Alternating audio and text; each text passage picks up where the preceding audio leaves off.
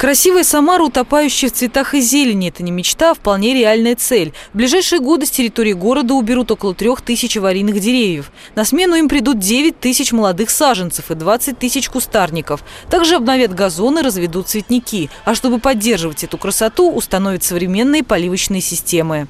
Планируется, что площадь озелененных территорий общего пользования на одного человека увеличится в полтора раза и составит 7 метров квадратных на человека.